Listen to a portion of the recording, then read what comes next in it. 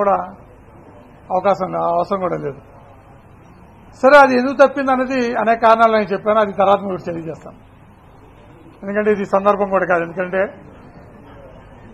వరుసగా అనేక ఫలితాలు చెప్పుకుంటూ బై ఎలక్షన్ సహా చెప్పుకుంటూ వచ్చి ఒకసారి తేడా వచ్చినప్పుడు మళ్ళీ నేను సరైన ఫలితం చెప్పినాక మాత్రమే అక్కడ ఎందుకు తేడా వచ్చని చెప్పాలి కాబట్టి ప్రస్తుతానికి అది అది పక్కన పెడుతున్నాను. అలాగే ఎందుకంటే దారమ్మడి కూడా చాలామంది వాస్తవానికి వస్తున్నప్పుడు మనసులో మీకు చెప్పేది ఒకటి అనుకున్నాను కానీ దారమ్మట ప్రజలు మందడంలో ముఖ్యంగా చుట్టుముట్టేశారు వందలాది మంది. మీరు మా ఊరి మీదకి వెళ్తున్నారు మాకు భవిష్యత్తు చెప్పకపోతే ఎలాగా అని చెప్పి. సరే మీ పక్కనే వెళ్తున్నాను. అలాగే ఇరవై నాలుగు గంటలు ఆగితే మీ ఇంటికే వచ్చేస్తుంది కబురని అని కూడా చెప్పాను.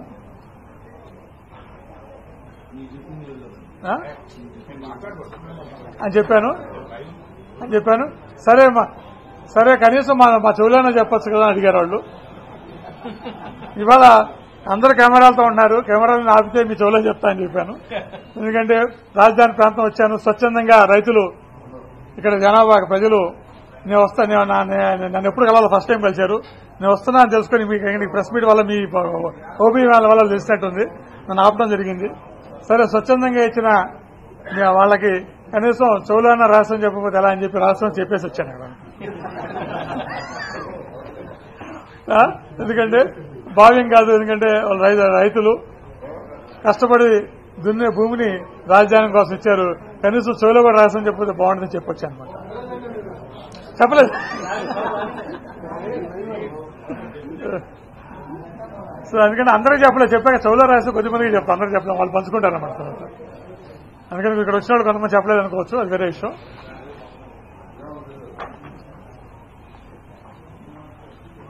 తెలంగాణలో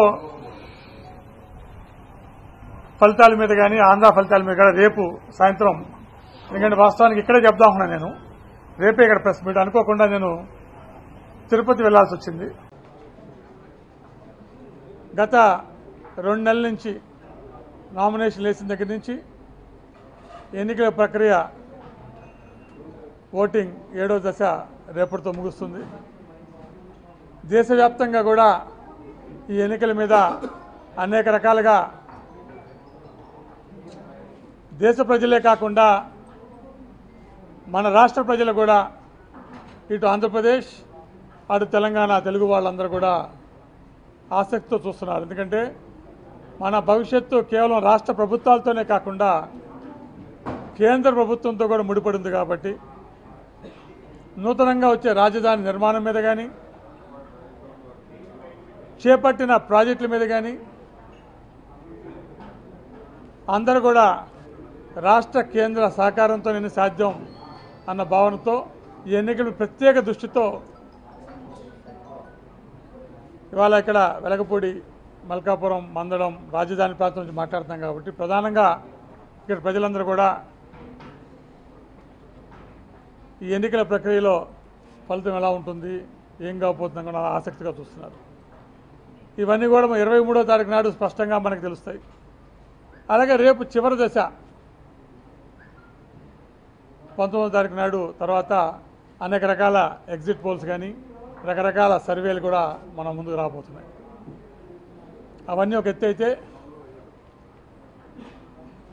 ఇవాళ ప్రజలందరూ ఒక ఆతృత ఏంటంటే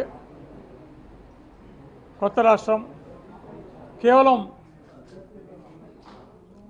ఈ గ్రామాలు ఈ నగరం లేకపోతే ఈ రాష్ట్ర ప్రజలే కాకుండా ఒక నెల క్రితం అమెరికా వెళ్ళటం జరిగింది. ఒక నెల రోజులు మా కుటుంబంలో ఒక ఫంక్షన్ ఉంటే అటెండ్ అవడానికి వెళ్ళటం వల్ల ఒక నెల రోజులు సుమారుగా అనేక ప్రాంతాలు తిరిగాను. మనకంటే ఎక్కువ ఆసక్తితో అక్కడున్న ప్రవాసాంధ్రులు చాలా ఆసక్తిగా రాష్ట్రంలో ఎవరు గెలవపోతారన్న ఆసక్తితో చూస్తున్నారు. వాళ్ళని అడిగాను ఏంటి మీ ఆసక్తి? అంటే వాళ్ళు ఒకటే అన్నారు. మనం కోరుకోకుండానే బలవంతంగా రాష్ట్రం వచ్చింది. రాష్ట్రం వచ్చింది కానీ రాజధాని లేదు. రాష్ట్రం వచ్చింది కానీ నిధులు కొరతతో ఏర్పడింది. అరవై శాతం జనాభాకి నలభై శాతం నిధులు వచ్చినాయి. ఇన్ని కష్టాలతో ఏర్పడిన రాష్ట్రం మున్ముందు ఎలా ఉండబోతుందో మేమంతా కూడా ఎప్పటికైనా తిరిగి స్వరాష్ట్రం రావాల్సిన వాళ్ళమే కదా. ఇక రాజధాని నిర్మాణం ఎలా ఉంది? చేపట్టిన ప్రాజెక్టులు ఎలా ఉన్నాయి? వచ్చే పరిశ్రమలు ఎలా ఉన్నాయి? ఐటీ పరిశ్రమకి అవకాశాలు ఎలా ఉన్నాయి? ఇలా అనేక రకాలుగా వాళ్ళ వాళ్ళ మనసులో ఆలోచనలు ఉన్నాయి. వాళ్ళకి చెప్పాను.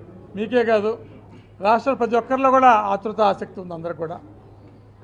ఎందుకనంటే మన గతంలో పురాణాలు చదివాం మనం.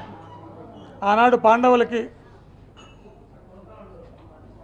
వారికి రాజ్యం వేరుగా ఇచ్చినప్పుడు ఖాండవనం. ఖాండవనాన్ని వాళ్ళు ఇంద్రప్రస్థగా మలుచుకున్నారు ఆ రోజు. అలాగే మనం కూడా ఇక్కడ ఇక్కడున్న వెలగపూడి మందడం అలాగే మల్కాపురం కానీ ఇంకా ఇంకా అనేక సుమారు ఇరవై ఎనిమిది గ్రామాలు అనుకుంటా. ఇరవై తొమ్మిది గ్రామాలు. ఈ గ్రామాలన్నీ కూడా ప్రజల సహకారంతో రైతుల సహకారంతో స్వచ్ఛందంగా ముందుకొచ్చి ఎక్కడ కనువిని రీతిలో భాగస్వామ్యం రీతిలో భూమి అయితే ఇచ్చేసారు వాళ్ళు. వాళ్ళు ఆసక్తిగా చూసిన దారమ్మటి వస్తున్నప్పుడు ఊర్లో ఆపేశారు నన్ను అక్కడ మందడంలో. వందలాది మంది గుమ్మిగూడారు వాళ్ళందరి వాళ్ళందరూ ఆతృత ఏమవబోతుంది ఈ రాజధాని నిర్మాణం ఎలా ఉంటుంది? మా భవిష్యత్తు ఏంటి? అలాగే మేము స్వచ్ఛందంగా ఇచ్చిన ప్రాంతం ఏ విధంగా మారిపోబోతుంది? పాండవులు అనా అనా నిర్మించిన ఇంద్రప్రస్థంగా ఉంటుందా? లేకపోతే ఏమీ లేకుండా ఎడారిగాల మిగిలిపోతుందా? అటు పంట లేకుండా అటు అభివృద్ధి లేకుండా నాకు ఆసక్తి అందరిలో కూడా ఉంది. సో ఈ బాధ్యత అంతా కూడా పాలకుల మీద ఉంది. ప్రజల ఆశల్ని వాళ్ళ కోరికల్ని వాళ్ళ ఎదురు చూపుల్ని అన్నీ కూడా ఒక కార్యరూపం దాల్చి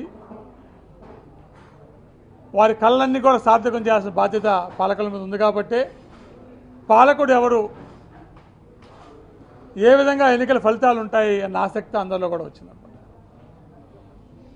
సో నేను కూడా చెప్పాను వాళ్ళకి మీరేం వరి అవ్వకండి దిగులు చెందకండి రాజధాని అభివృద్ధి బాగానే సాగుతుంది ప్రాజెక్టులు జరుగుతున్నాయి డిలే ఉన్న ఎత్తిపోతల పథకాలతో నీళ్ళు అందిస్తూనే ఉన్నారు కేంద్రం నుంచి సహకారం కొంత అటు ఇటుగా ఉన్నా కూడా లోటు బడ్జెట్ ఉన్న అటు సంక్షేమం ఇటు అభివృద్ధి రెండు సమాన భాగంలో రాష్ట్రంలో అభివృద్ధి జరుగుతూనే ఉంది. అలాగే మున్ముందు కూడా అలాగే జరుగుతుంది. ఖచ్చితంగా ఎటువంటి ఇబ్బంది పడద్దని కూడా చెప్పాను అనమాట అలాగే రాజధాని కూడా మీరందరూ కళ్ళకన్నట్టుగానే ప్రపంచ స్థాయిలో ఎందుకంటే ఒక అవకాశం వచ్చింది. మనం వద్దనుకున్న అవకాశం. ఒక నలభై నాలుగు నలభై వేల ఎకరాల్లో సువిశాల ఈ యొక్క ఈ ప్రాంతంలో చుట్టూ కొండలు పక్కన ఒక నది ప్రవహించే నది. వీటి మధ్యన సరైన ఒక నెట్వర్క్ రోడ్లతో అన్నీ కూడా ప్లాన్ చేశారు. ఒక ఐదేళ్ళు ఉంటే ఖచ్చితంగా ఇవన్నీ కూడా మనకు అనుకున్న రీతిలో ఖచ్చితంగా వస్తాయి. ఇంద్రప్రస్థానికి ఏమాత్రం తీసిపోకుండా ముఖ్యంగా ఆనాడు మహేసభ గురించి అందరూ చెప్పుకునేవాళ్ళు. అలాగే రాబో రోజుల్లో మన శాసనసభ గురించి కూడా చెప్పుకునే స్థితి ఖచ్చితంగా రాబోతుంది. ఎందుకంటే ఒక మోడల్ శాసనసభగా ఒక మహేసభగా ఇక్కడ తీర్చిదిద్దుపోతున్నారు అందరూ అబ్బురపరిచే విధంగా అందరూ ఆనందించే విధంగా మెచ్చిన వాళ్ళు నచ్చిన వాళ్ళు అందరూ కూడా సంబరపడే విధంగా గిట్టని వాళ్ళు అసూయపడే విధంగా ఖచ్చితంగా రాజధాని వస్తుంది మయసభ లాంటి శాసనసభ వస్తుంది. అన్ని విధాలు కూడా ఈ ప్రాంతం అభివృద్ధి చెందుతుంది ఇబ్బంది పడకండి. కాకపోతే మా ఒక డౌట్ మరి ప్రభుత్వాలు మారితే తేడా వస్తాయంటే నేను ఒకటే చెప్పాను.